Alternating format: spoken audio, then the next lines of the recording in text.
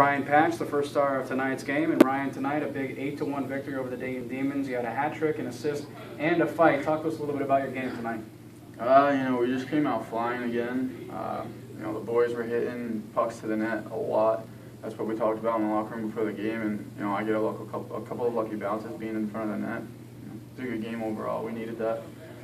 Now, after last night, you guys lost a 2 1 heartbreaker in overtime. Did you guys have a little bit more energy tonight, a little bit more jump to try and, and win the rematch here tonight? Yeah, you know, that made it two in a row to them, and uh, you never want to lose at home, especially in front of our crowd. So we came out a little harder, a little extra incentive tonight. Now, Ryan, uh, three goals, assists, and you also had a fight, Gordie Howe hat trick. You said that you had one before, but this is your first professional one. How does it feel? Feels good.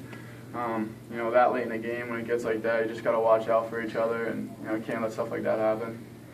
Now, you've had a tremendous season. You're a rookie in this league, and right now you're tied for the team leading goals with 19. You've had a tremendous rookie year, and you're probably going to be up cons- for consideration for rookie of the year. Do you think at all about that when you're out there playing, or you're just out there trying to do your best? No, I'm just out there trying to play, you know, get better every day, help the team out, you know, want to win a championship just with everyone else. So that's what I'm trying to focus on.